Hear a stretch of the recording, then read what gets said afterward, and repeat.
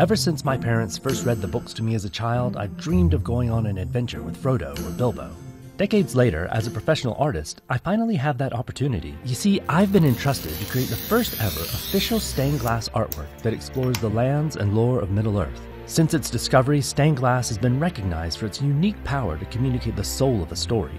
Now I'm using that art form to showcase the grand scope of the worlds of J.R.R. Tolkien. And I want everyone to be able to have a piece of this story. So, in addition to our glass pieces, I've also created a new kind of window cling so vibrant that they're often mistaken for original glass. Since there's no adhesive, these pieces can easily be applied, removed, and even reapplied. They're so impressive that we've had nearly 2,000 five star reviews on Etsy. With these window clings and handmade original glass, we're giving fans new ways to celebrate the world of Middle Earth. It's been a lifelong journey to get here, and I can't wait for this next adventure. I hope you'll join me. Santos.